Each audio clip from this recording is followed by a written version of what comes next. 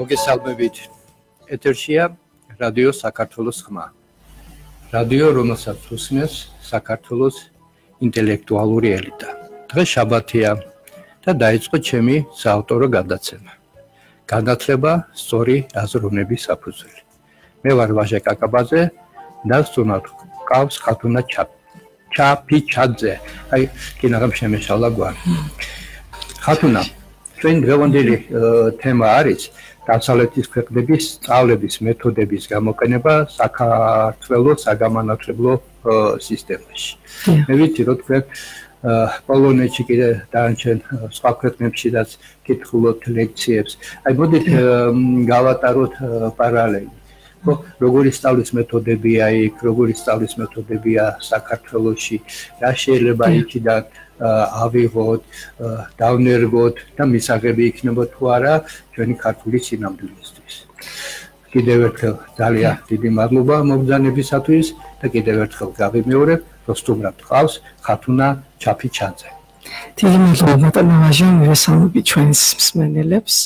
ძალიან საინტერესო და აქტუალური გადაცემაა ნამდვილად განათლება გახლავთ. მართლაც აი ყველაზე ძირითადი ასე ვთქვათ მართლაც საძირკველი საზღვა თუ შეიძლება ასე ვთქვათ ბაზისებს შორის ხო რასაც შეიძლება რომ დაეყდნოს მით უმეტეს მომავალი საერთოდ საზოგადოებების ამდენად ძალიან პრიორიტეტულია მსჯელობა ამ თემებზე უმაღლესი განათლებაც რა თქმა უნდა ძალიან რთული საკითხია დღეს და საერთოდ განათლების ნებისმიერი საფეხური ხა ჩვენს ქვეყანაშიც და არა მარტო სხვათა შორის საზღვარგარეთაც, იმიტომ რომ ზოგადად აი ჩვენ ვართ მონაწილე ბოლონიის პროცესის, ხო, ეგრეთ წოდებული ბოლონიის პროცესის უმაღლესი განათლების სისტემის კუთხით, სადაც უნივერსიტეტები მიუყვებით ამას, თქვა ამ ფრეიმვორკს, რასაც ინგლისურად ეძახიან ხო ამ ჩარჩოს ბოლონიური პროცესის და ეს ჩარჩო საკმაოდ სხვათა შორის გარდა მოწონებისა იმსახურებს ხოლმე კრიტიკას და მე ვიცი რომ ძალიან ბევრ ქვეყანაში სწავლების ეს მეთოდი არ აქვს ეს ფორმატი კი.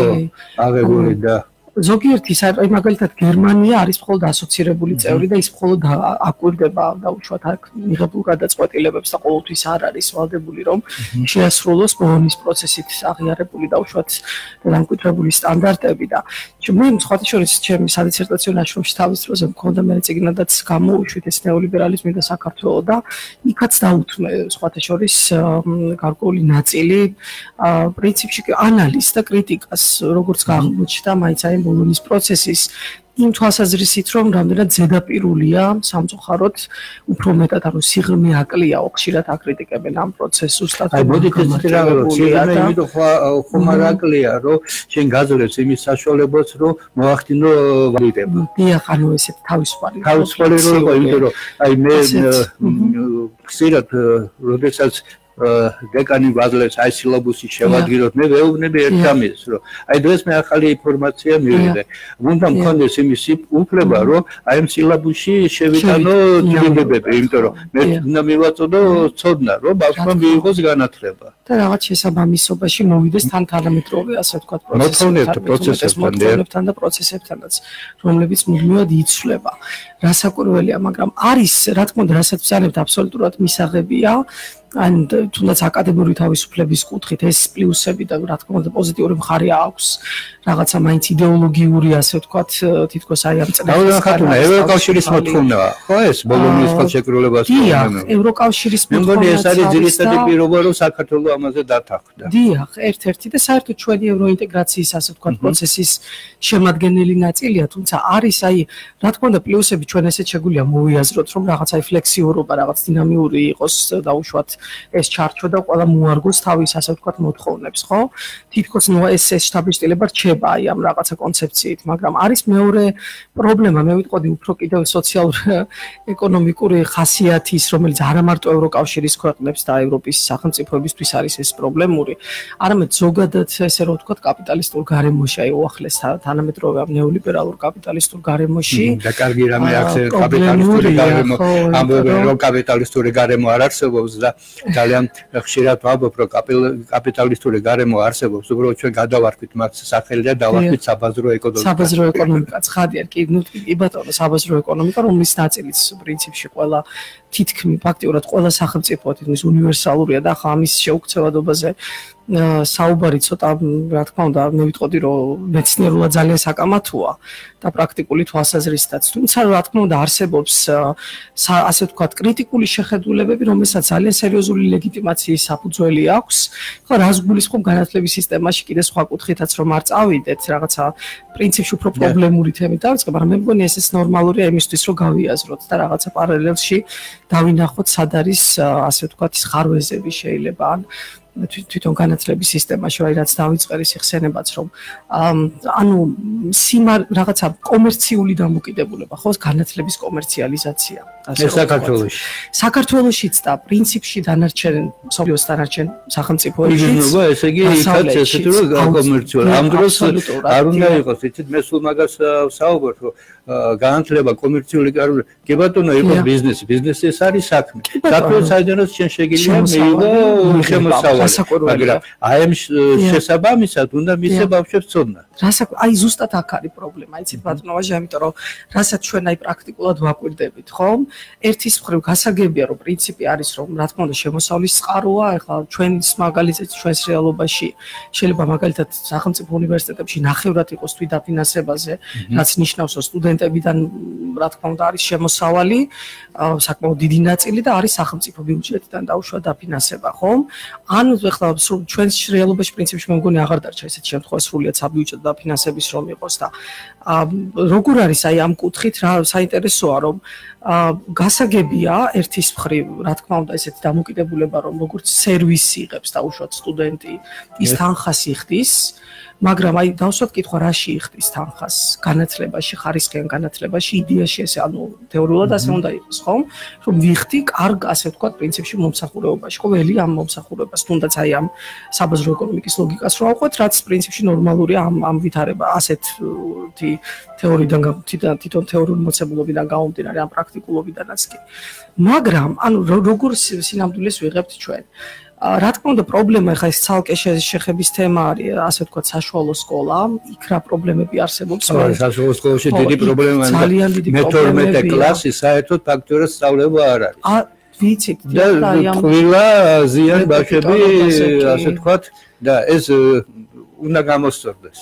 ყველანაირად ერთ ბავშვები გარდა იმისა რომ ერთ წელს კარგავენ პლუს ისეთ რა არის აი ეს აღებული რიტმი სწავლების რომელიცაც რომელმაც უნდა მიიყვანოს გარკვეული მიზნამდე ის აფერხებს უკვე. დიახ აბსოლუტურად. ანუ აქ ჩვენ გვყავს არათან აბსოლუტურად არათანმიმდევრული არათანმიმდევრული ეს არის რა თქმა უნდა თვითონ რამდენად მწირია ეს თვითონ საშუალო განათლება ამას ჩვენ ხედავთ უკვე უმაღლეს სასწავლებელში როდესაც ბავშვები შემოდიან პირველ კურსზე და ჩვენ ამ დროს გვინდა რომ ვასწავლოთ მართლა სპეციალობა ხო? გარკვეული სპეციალობები ხო მე მაგალითად ევროპის ოდნობას ვასწავლი საქართველოს საქართველოს ტექნიკურ უნივერსიტეტში პოლიტიკის მეცნიერებებს ვკითხულობ ხო ჩვენთანაც და სხვა ჩეხეთში თუ პოლონეთში და ანუ აი როგორი პრობლემა არის და მე შევატარებ ერთი ორი სიტყვითაც რა თქმა უნდა ამ ზოგად ან ან თან კონკრეტულადაც კი ამ ვითარებებს რომ ველით ხო რაღაცა გარკვეულ ცოდნის დონეს და ბავშვები ამ დროს ხშირად იმდენად იცით რა არის აბსოლუტურად შეიძლება ითქვას რომ უნაროები არ მომზადებლები არიან უმაღლესი განათლების სისტემა აი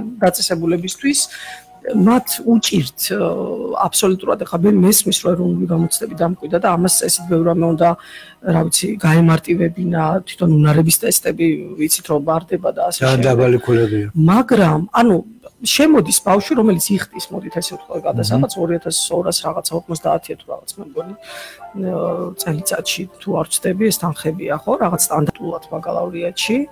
და და რა რა ხდება ამ დროს რომ?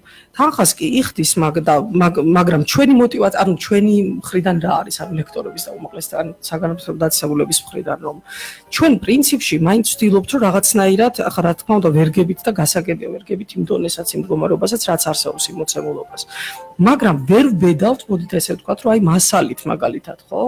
დავტვირთოთ ისე როგორც ეს პრინციპში სპეციალობას შეესაბამება. როგორც ეს მოიტანდა დაუშვათ ხარისხს, ხო?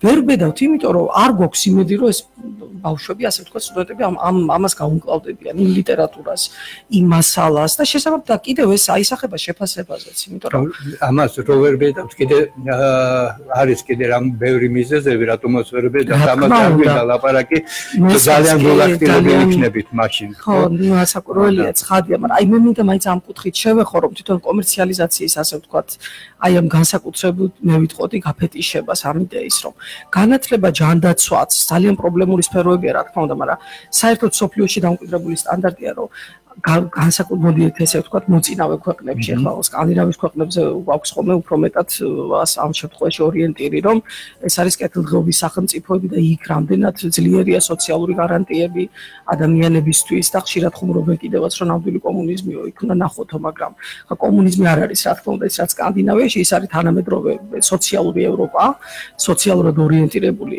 ევროპა რომელიც საბაზრო ეკონომიკის პრინციპებით ცხოვრობს მაგრამ სოციალური ასე ვთქვათ ორიენტაცია მისი არის გარკვეულად წარმატების საფუძველიც.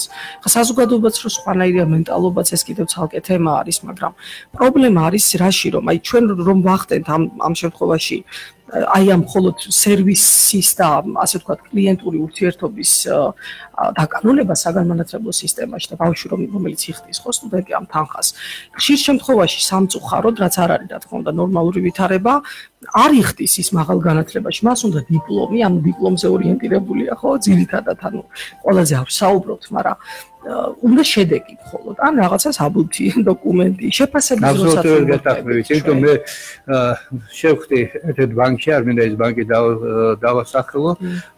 გოგონას რომელსაც ქონდა დამთავრებული სამხატვრო აკადემია არქიტექტურული ფაკულტეტის სპეციალობი და იჯდა ხო ბუშაუს ბანკში ოფიცრად და პროცესი სხვა. იქით რა არის, როცა გავესაუბრე, აბავშვა გამოამჟღავნა ასე თქვა დიდი ცოდნა ხელოვნებაში. ნუ ხაშენ ალბათ არ ახალ ეკონომისტი ხო არა ვარ ეკონომისტი მაგრამ ვერცად ვერ მუშაობ სამსახურში. ალბათ ეს ვერ ვიშოვი მომავალში სამსახურს. ალბათ ეს ფაქტორი თამაშობს იმაში რომ ბავშვები არ არიან დაინტერესებულები რომ მიიღონ ცოდნა. რატო იმიტომ რომ ხედავენ. მოდით რეალურად ვთქვათ რომ მე თუ ბიძა არ მეყოლება მე თუ დეი და მამი და მამა არ დამეხმარ მაინც ხო გავრცელებულია საქართველოში მაინც ვერ ვიშოვი სამსახური და ეს დიპლომი მქონდეს მე ყოველ შემთხვევაში. აი ხო სათადარიგოთ რომ მე სხვა რომ დამთავრებული მაქვს უმაღლესი და მიდის დიპლომი ეჯიბეში. აი მე ხა ისე ხარ გაიბეს ეს რომ დაგხვდი წუთი ხო ამიტომ მე მინდა რომ არ გამოგხეს აი იქ როგორი სწავლის მეთოდებია აქ როგორი და როგორ არიან ციგნებით უზრუნველყოფილი ჩეხეთში და პოლონეთში და ჩვენთან თუ აქვს ციგნები რომლითაც შეიძლება ბავშვმა ისწავლოს. ეს უდიდესი პრობლემაა სკოლაში შეცდომებით ციგნების სავსე აქ კიდე ბავშვებს ციგნები არ ყოფნის.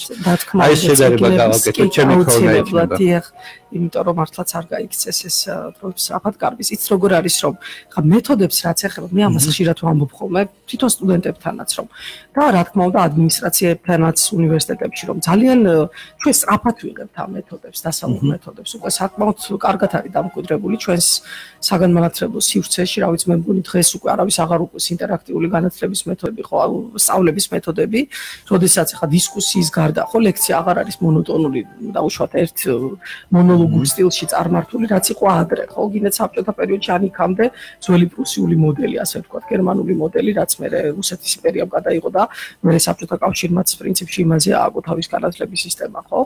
ანუ ეს აღარ არის არის დიალოგური არის საკმაოდ ღია ეს დისკუსიები ინტერაქცია ვიყენებთ უამრავ მეთოდიკას.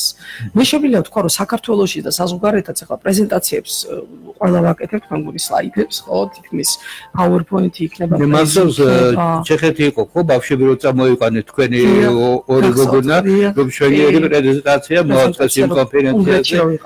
უნგრეთში რო ხო ხო რა კარგად გამოვიდნენ. თქვენ შეიძლება მომამზადე ბავშვები ასე რომ მიჭერი ბავშვები ყავთ აქედან რა არის საბედნიერო? თქვენ სწავლების მეთოდი არ ჩამორჩება. არ ჩამორჩება. მე შემიძლია ვთქვა რომ აბსოლუტურად აი ეხლაც მაგალითად სან-დიეგოს სახელმწიფო უნივერსიტეტი საქართველოსში ვასწავლი და პოლიტიკის მეცნიერებას ვკითხულობ პირველ კურსელები არიან ძირითადად ვინც ვისაც ვასწავლით და ვასწავლი და აი ძალიან აქტიურად ვიყენებ რა თქმა უნდა. ამ გუნდური მუშაობა იქნება. მე გვაქვს კიდე სლაიდო ეგეთი ინტერაქციული სისტემა რაღაცა interactive tool რასაც ვეძახით ხო?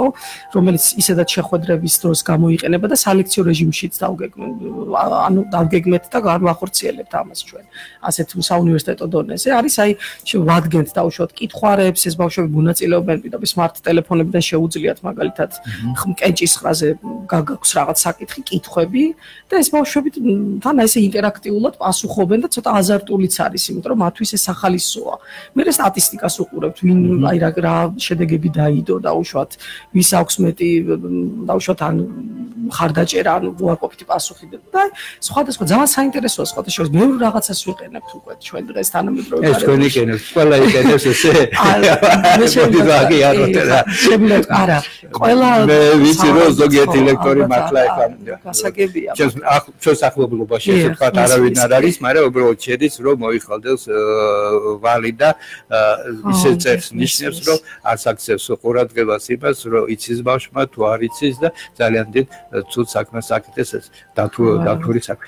აი ეხლა ამაზე შევთანხმდით ესე იგი სწავლის მეთოდები იქაც და აქაც ასე თუ ისე ახლოს არის. სახელმწიფოებრივი აი ხა სახელმწიფოებრივებს რაც ეხება სახელმწიფოებში პრობლემა გვაქვს ძალიან სერიოზული.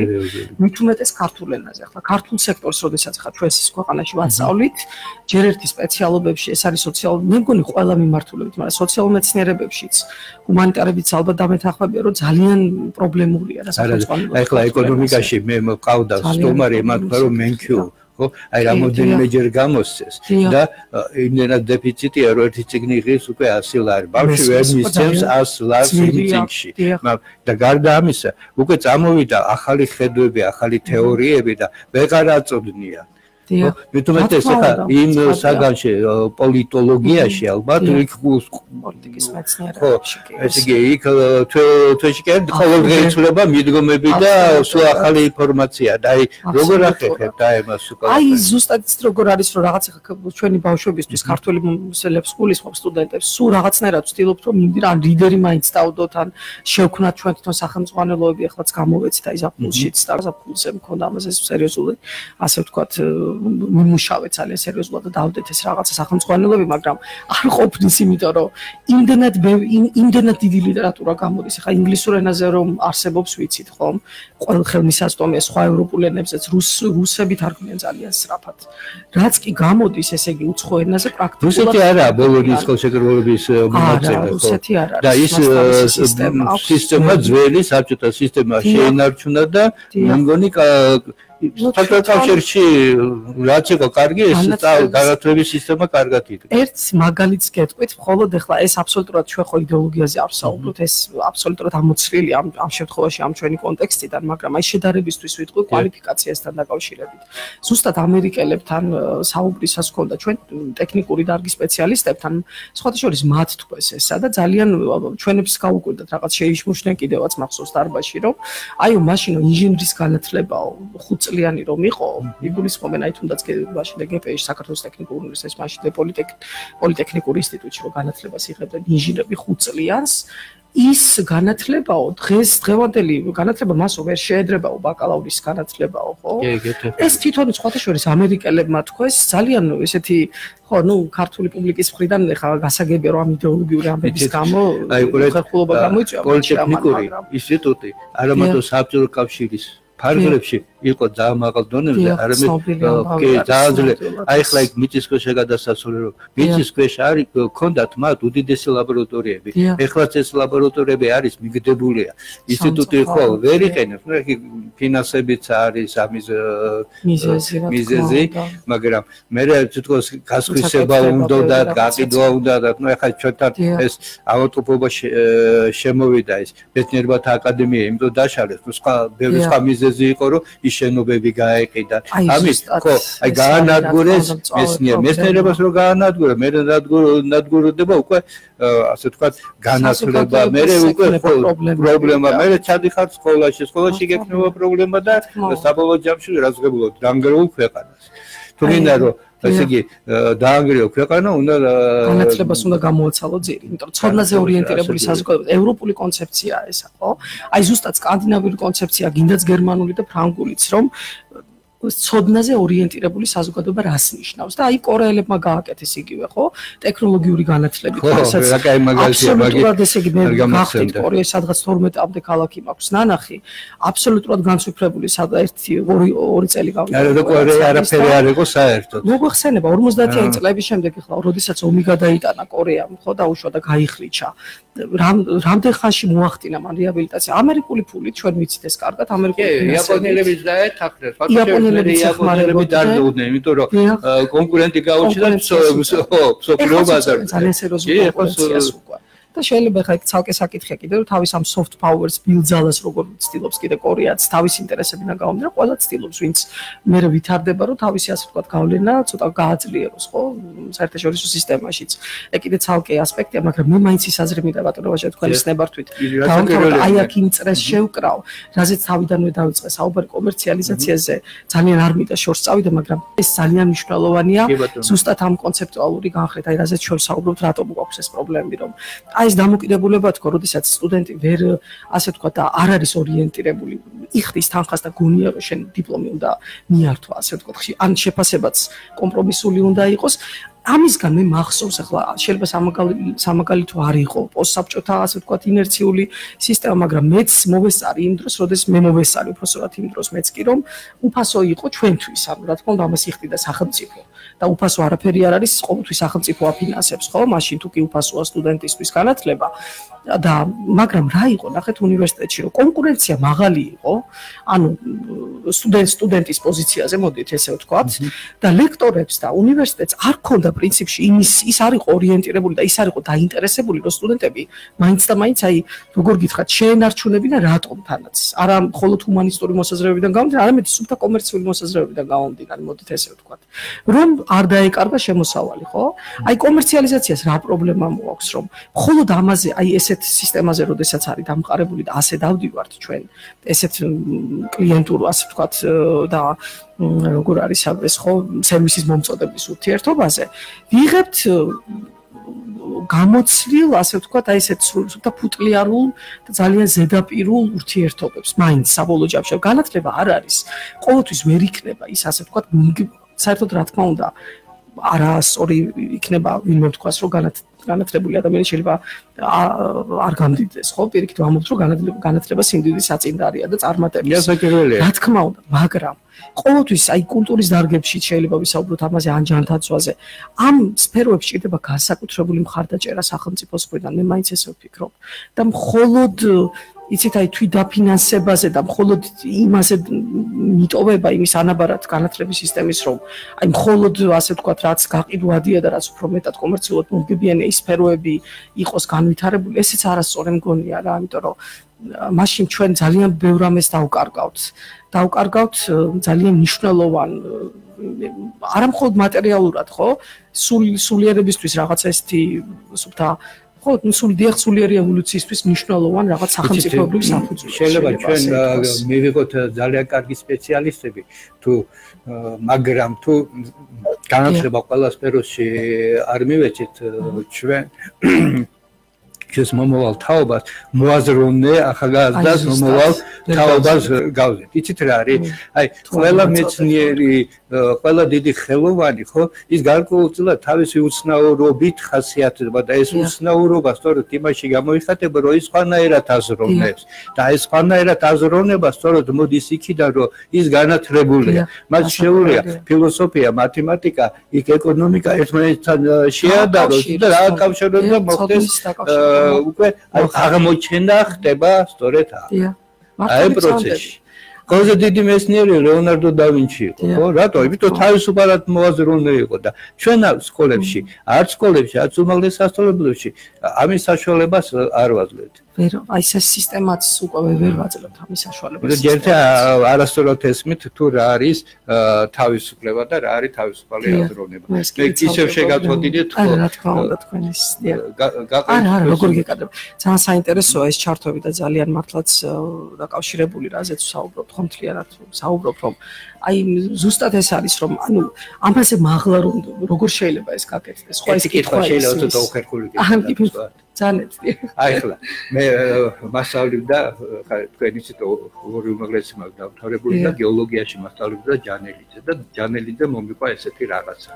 ჩვენ გამოსაცვალებდით და ჩემს უკეთესად უპასუხა ჩემო მეგობარო მე თუდად უპასუხე იმას დაუწერა დაბალი ნიშანი მე კიდე დამეწერა მაღალი ნიშანი და რო უთხარი ლექტორს იმა ჩემზე კარგად გეპასუხათ და რატო მოიქეთეთ ის ჩვენთან უნდა დარჩეს ჩემ ქვეყანაშიო და თქვენ რომ მიდიხართ. თქვენ მიდიხართ აი ხა შე როგორ გამოიჩინა შენ თქვენ როგორ დაიჩა ქართველებს უფრო უწერთ აქ ნიშნებს თუ იქ პოლონელებს? აი როგორ აი როგორი დამოკიდებულება აი ნიშნის დაწერის აი ეს იცით როგორ არის რა შემთხვევაში მაგიწერია ისე ნიშანი. აი ნუ იცით როგორ არის აკლებად ხო? აკლებად კი არა საერთოდ შეიძლება არა ნუ როგორ არის ახლა რომ სხვადასხვა ფაქტორების შეფასება რა საერთოდ ძალიან ისეთი სფეროა მე ყოველთვის ერთ ჩემთვის მაინც ამოსავალი არის ხოლმე აზროვნება. თუ ადამიანი აზროვნებს სტუდენტი თუ აზროვნებს. შეიძლება იყოს აი პირდაპირ ვამბობ ამას ზარმაცობს ნუ მუშაობთ იმაზე რომ ეს სიზარმაცე რაღაცნაირად გადავაგდოთ მოვიშოროთ ცოტა წავახალისოთ იმიტომ ეს ინტერაქტიული მეთოდები და ეს მართლა ძალიან კარგია ეს დასავლური მეთოდიკა რომ ჩართული იყოს მივაც სტუდენტი ცოცხლად არ არ მობეზრდეს ეს მოსმენა ხო მხოლოდ. და ის მონაწილე იყოს იმ პროცესისასაც მართლა განათლება და თვითონ ლექციაც რასაც ქვია. არა მხოლოდ პრაქტიკული ეს ვაზრობ, იმიტომ რომ განათლება, ცოდნა, ხო, მე სხვადასხვა რაღაცა, მაგრამ ეს მაინც შეფარდებითია. ძალიან შეგვიძლია თან უფრო რასაკვირველია ყარი ხო აი უფრო ღმად და უფრო ღმად რომ ჩავიხედოთ და ფილოსოფიურად გავშალოთ ეს ხო საერთოდ ადამიანს რა ცოდნა გააჩნია? გაგვაჩნია საერთოდ ცოდნა. აი ზუსტად მაგის აი რა არის შეიძლება ჩვენ ვისაუბროთ რა თქმა უნდა ანუ რაღაცა მასალის მომზადება არ ნიშნავს არ არის თუ ადამიანი ვერ აზროვნებს მას უბრალოდ ჭირდება ეს ინფორმაცია და უნარიც ინფორმაცია ცოდნა რა თქმა უნდა ის ასე ვთქვათ ციგნიერი ხო აკუმულირებული ციგნებში აკუმულირებული ცოდნა რასაკვირველია და მასთან წვდომა და მისი დამუშავება ჭირდება ყველა შემთხვევაში მაგრამ ეს ყველაფერი ანუ მასალები ცვალებადია იმიტომ რომ პროცესებია ძალიან ცვალებადი. ახლა მით უმეტეს თუ პოლიტიკის მეცნიერებებზე საუბრობთ კიდე საერთოდ სოციალურ მეცნიერებებზე პროცესები ძალიან ცვალებადი არის და თეორიებიც შეიძლება მოძველდეს ხადია რაღაც ახალი რეალობა წარმოიქმნას იმდენად დინამიურია რომ ვერც კი ასრებ ხო ყოველდღიურობაში ხო რასაც ვთილობთ თქო აი მასალებზე რო ქონდა საუბარი უთარგმნით რაღაცა რიდერს გაუკეთებთ რომ ასე ვთქვათ ახალი თანამედროვე მიაწოდო ახლა ინგლისურად თუ გვაქვს საშუალება ხო ყოველთვის ხო არა ქართულ ენაზე რომ ვასწავლით შეიძლება დამატებით მივაწოდოთ ან ინგლისურად ან სხვა ევროპულ ენებზე რაღაც გერმანულად თუ ფრანგულად კიდაც რუსულად რაღაც ლიტერატურა თორემ. ისე სულ ცვალებადი არის და ამიტომ აი ჩემთვის კრიტერიუმი მაინც არის აზროვნება. და ნუ სიბეჯითეც რა თქმა უნდა ამას ექცევა ყურადღება. ხო თუ სტილობს ბავშვი ნუ რაღაც ბეჯითობს და ეს მარტო მისი მხრიდან არ არის ჩემზეც არის ეს პასუხისგებლობა როგორც აბსოლუტურად მართალი ბძანდებით მე ხა გამახსენდა. ბატონო ნოდარ ნაცაძის გამოს რომელი ტელევიზია იყო არ მახსოვს. უბრალოდ Facebook-ზე ვნახე და ვეფხის წყალსანზე იყო საუბარი და აი რა ღირებულება გააჩნიაო ხალბატონს მიყავდა ეს გადაცემა. ის ღირებულება გააჩნიაო რომ აი ჩანს რეალობა და სიღრმისეული აზროვნება. აი აი ეს არის რომ აი ეს უნდა ასწავლო და ეხლა შეგვიძლია ის დავიბრუნოთ რომ ისეთივე მიდგომები და ძალიან რთულიაო ეხლა რომ ხო რაღაც გარკვეულწილად ამას მოწყობი და აი ქაღნიშნა რომ სამდე დასავლეთში დაიწყებოდა რენესანსის ხანა ჩვენთან უკვე ეს არსებობდა და ეს აზროვნებია და ნუ ახლა ზვიად გამსახურდია ხო საერთოდ ვეფხვის ყავსანი აკავს და სტორიც არის ხო? იქ იმდენი ისეთი რაღაცა დამალული რომ ჩვენ შეგვიძლია ვთქვათ რომ შოთა რუსთაველი იყო არა მარტო კარგი პოეტი, არამედ კარგი ფიზიკოსი, კარგი მათემატიკოსი და კიდევ უფრო ღრმად და საიდან მოდის ეს ყველაფერი? ეს იქიდან რო ის თავისუფლად აზროვნებს. ისევე როგორც ლეონარდო და ვინჩი, ხო? და და ძალიან კარგი ასე თქვათ ყოველთვის ბავშვობაში მიყვარდა ის მწერლები, ვინც აი ესე თქვათ ფანტასტიკას უთმო. ანუ საინტერესოა ხო? გასიმ თუ აი თქო დროს დროს ხო აი თავისუფლად აზროვნებ დროს ასწრებ კი? ეს ის ფანტასტიკა. შეფერილობა რეალობა. და ჩვენ ამის მომსწრები მართლაც ხო გავხდით ამ ტექნიკური პროგრესის ფონზე მობილური ტელეფონი ეს ბაბუაჩემისთვის წარმოუდგენელი იყო. შოკის მომგვრელი იქნებოდა ხო? ანუ ძველი თაობები რო ხანდახან ვამბობ სტუდენტებსაც შეალობთ რომ რო გააღვიძათ ახლა წინა თაობები აი ესეთ ტექნიკურ ბუმში ალბათ შოკი დაემართებოდა საერთოდ.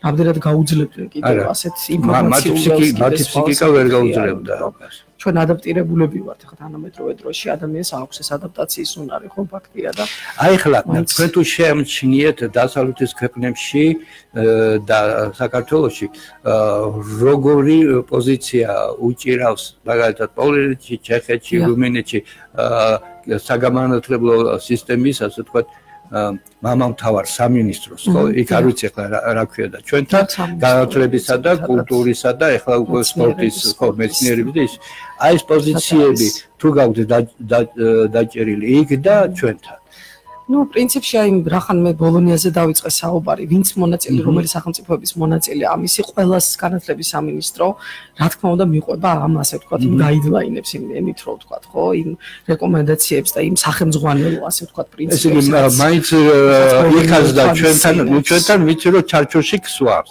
იქაც იგივეა, ხო? იქაც დიახ, იქაც იგივეა, იმიტომ რომ იქაც როდესაც კოლეგებთანაც ვსაუბრობთ, გარდა იმისა, რომ თვითონ პირადად ეს სალექციო პროცესში ვარ ჩართული და გამოცდილება, რა თქმა უნდა, ამისი აქთან გამომდინარე ხო ცოცხალთ მაქვს, მაგრამ აი კოლეგებთანაც რომ საუბრობთ ხო ამ პრობლემებზე. იგივე პრობლემებია იქაც. იმიტომ რომ ყველა ჩივის რომ აი ჩვენ ვასწავლით უფრო ზედაპირულად, ვიდრე ეს იყო ადრე, ზოგადად უფრო ანუ და რა იგულისხმება ის აი აზროვნებაზე რომ საუბრობდით რომ როგორც ჩანს, იმიტომ რომ ბაზრის მოთხოვნაა სხვა, პირდაპირ ვთქვათ. არ არის ბაზრის მოთხოვნა, ესე პირდაპირ შემილია ეს განაცხადო ფაქტიურად რომ ძალიან ესეთი ღრმა აზროვნებაზე ორიენტირებული ყოველთვის ასე ვთქვათ, ყავდეს გაზარდოს თაობები, რომლებიც იქნება შეიძლება ყოველთვის ძალიან მოაზრო. ანუ უფრო მეტი მოთხოვნა არის სერვისებზე, მომსახურების სფეროზე, ხო? აი გასაქმების სფეროზე. შეხსით ახლა. ხო, აი რაღაცნაირად ეს ახლა მე სმენელს სმენელს მინდა უთხრე, რომ ჩვენ მე და ხათუნა უფრო ხშირად ხვდებით ხოლმე კონფერენციებზე, ხო კონფერენციებზე და აღარ შეხვდი. ბოლოს შეხვედრა ჩვენი იყო პოლონეთში, ხო? ხალხო ხათუნა უდიდესი მოთმინება გამოიჩინა იქ. მე პატარა კონფლიქტი მომივიდნენ და ჩემი რუსები ისხდნენ და 2008 წელს ამბებს იხსენებდნენ და მე მე შემდეგ ავდექი და ჩვენ დაღუპული გმირებისა და უკრაინაში დაღუპული გმირების ადრეზე შევსვი და მე დალი ის მათაც გახსოვდა რომ ვაჟი დალევიდეთ არ დგებოდნენ და უთხარი ადექით და დალიეთ დავალევინე იმათ მაგრამ ყავა რომ მომიტანეს იმდენად ანერიულებულ სათუთ ემოციური ადამიანია ყავის ჭიქა ვერ ავწია ეს ხელი მიკაკალებ აი ემოციური იყო ძალიან თქმა ჩოპონეთთან ბევრი აი ხლა თქვენ გააქვთ ძალიან ბევრი ასე ვთქვათ კავშირები სხვა სხვა ქვეყანაში. მე თვითონ მექნა. აი ეს პატარა რეზუმესავით იქნებ ინგლისურად მიმართოთ ჩვენს მეგობრებს და რომ მე შემდგომში გაუგზავნოთ თუ რაზე ვისაუბრეთ, რა პრობლემებია, რა მოგწოთ იქიდან და ასე შემდეგ. კი ბატონო, ჩემი ჩემი თქმა იქნება და პატარა სიურპრიზი ჩვენი ქართველის მსმენელი მსმენელისათვის და ნუ გაგვიჯავდება. კი ბატონო, მაშინ აა მიმართავ ხო ეს პირდაპირ შემიძლია. Uh, cześć. Uh, hello to, to my Polish colleagues, first of all, maybe to American colleagues as well. Um, from Georgia, first of all, because I'm, I'm currently in, in Georgia and leading couple of, let's say, lectures, quite a busy schedule at the same time, but at Georgian Technical University, mainly at, at, at San Diego State University, Georgia, teaching political science course and also leading a couple of courses in European studies at Georgia Technical University. So we today discussed huge um, problems regarding uh, the methodology of um, uh, teaching at, at the higher educational institutions uh, and comparing maybe Western uh, experience to, to Georgian to Georgian experience, and also the possibilities of uh, adjusting perhaps the Georgian reality, the Western approaches in in educational system and agenda. Uh, so we spoke about interactive um, teaching methodology and methods, about using, of course, presentations, which we do use in, in, in Poland, the Czech Republic, or uh, in American university, as well as in, in Georgian universities uh, in Tbilisi, mainly. Um, we do use, for instance, like uh, Slido, for which is which is a very actually, and I have permission, I think, to to actually promote this this uh, interactive tool, which is Slido. Uh, being used uh, during the meetings, interactive meetings, during the business, even maybe negotiations, conferences, during lectures, even uh, whenever participants can vote for for for the for and then participate in the questions and can they they can just um, so select the answers perhaps and uh, we, we do show some statistics based on the answers. And this is uh, this is quite influential perhaps um, methodology how we engage try to engage students in active learning let's say. But we we know that uh, for instance in uh, in, in western uh, educational system, and not only in, in Western, but classically it comes from from the West, let's say America, but also Western and especially Northern Europe. Whenever uh, there has been used also um, uh, informal uh, learning and uh, informal learning and teaching techniques uh, and and home also home studies can be one of the approaches as well so there was there is this kind of interesting variety of uh, regarding methodology, and um, mm, well, I've just made parallels what's what is going on in, in, in Georgia in regards of this, uh, you know, integration of the methodology uh, within the educational system and the process of teaching. And uh, I can say, I can summarize that, uh, well, we do have quite currently we practically have very many things in common. So of course we, we have practically imported uh, this kind of Western approaches in the Georgian educational system, which is very rapidly actually improving. And uh, nowadays in, uh, in, in Georgian universities we have possibilities uh, of using this uh, these approaches and methodology quite um, um flexibly. Um, well, I've spoken about also educational policy which can be um, sometimes also kind of problematic. We spoke about the Bologna process. Uh, Georgia is part of Bologna process as well as Poland is um, for sure. Um, and, and other European Union countries, most of them. So um, uh, we spoke about the common challenges, and quite often we discuss with the colleagues what are, let's say, pros and cons of the system. We analyze that, well, maybe it gives the flexibility of uh, adopting and actually adjusting uh, the approaches and the methodology, learning and teaching methodology based on your specificity in, uh, in local universities.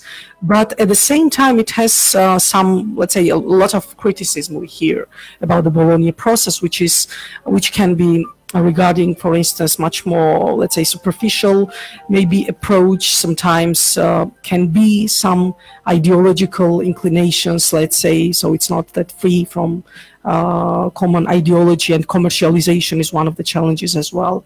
Uh, so, uh, yeah, that's that's practically, I think, um, um, the major ideas and the messages I, I, I wanted to underline here just uh, to, to finish up perhaps my speech, not to become it too long. Um, uh, we just hope that uh, in future it can we, we might be much more and we can be much more flexible in regards of changing what we don't like and we can work on improvement of many problems which we uh, we we're facing uh, nowadays. And especially regarding the this approach which is uh, which cannot be only commercial because education system as well as perhaps also health uh, system and culture is not cannot be only exclusively uh, a commercial field. So it, it has to be uh, of course also implemented some newer uh, let's say less less less commercially oriented um, interests and, and policies which can be much more oriented towards the um, uh, towards increasing uh, knowledge and and that's that's uh, what I wanted to say. Thank you very much. Thank you very much, my dear friend. to the radio, to the Voice of Georgia. Yeah, it is it is the official. Thank you very much. Dziękuję bardzo mi. Okay. Memang seperti seperti tradisi Kitwa. Yeah. Rasa selip segala serba adanya. ო, ძალიან საინტერესო კითხვა. და ამით ალბათ დავამთავრებ. კი ბატონო, შევეცდები ესე მოკლედ გაგცეთ პასუხი. აძლევს მე მგონი საშუალებას იმისთვის, რომ იარსებოს აზროვნებით პროცესში და აზროვნებასთან ერთად. აბსოლუტურად სხვა სხვა განსხვავებული ისე კი ის მომენტი თქვენ აქვს და ძალიან დიდი ძალიან დიდი მადლობა. კაბოტუნა ხალხნა თქვენ მადლობა და აქ მოგზაურებისათვის ჩემგანაც ძალიან დიდი მოკითხვა ჩვენს მეგობრებს პოლონეთში ჩეხეთში რუმინეთში და კიდევ ერთხელ მინდა ვთქვა რომ დღეს არის შაბათი ეთერშია რადიო საქართველოს ხმა მისი ასე ვთქვათ, საავტორო გადაცემა, უფრო სწორად საავტორო გადაცემა განათლება სწორი აზროვნების საფუძველი წამყვანი ვაჟე კაკაბაძე და ჩემი სტომარი, ჩემი მეგობარი ხალბატონი ხათო. ძალიან დიდი მადლობა ბატონო ვაჟა თქვენ და საქართველოს ხმას რადიოს ამ საინტერესო შესაძლებლობისთვის მადლობთ.